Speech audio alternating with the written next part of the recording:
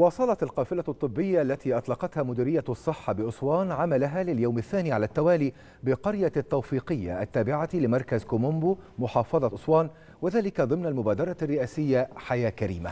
تضم القافلة عشرة عيادات متنقلة للكشف عن المرضى والمترددين من أبناء القرية والمناطق المجاورة وتقديم الكشف والعلاج بالمجان إضافة إلى تحويل عدد من المرضى لمستشفى كوم أمبو والمستشفى الجامعي بأسوان لإجراء العمليات الجراحية وأشعة الرنين المغناطيسي والتحاليل بالمجان.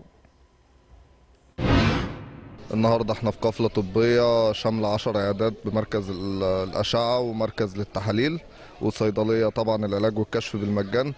في قرية التوفيقية إدارة كوم أمبو الصحيه آه، طبعا آه، لو في أي حالات محتاجة رعاية تانية أو ثالثه بنحولها لأقرب مستشفى تابعه لمديرية الصحة. إحنا النهارده في قرية التوفيقية التابعة لمركز كومومبو بننفذ القافلة على مدار على مدار يومين الكشف والعلاج بالمجان. معانا تسع- تسع تخصصات طبية مختلفة. معانا معمل الطفيليات ومعمل الدم. معانا خدمة الأشعة العادية معانا خدمة السونار. الكشف والعلاج بالمجان بيقوم بتوقيع الكشف الطبي على السادة المنتفعين أو أهلنا وناسنا الدكتور أو الأخصائي أو الاستشاري في كل تخصص.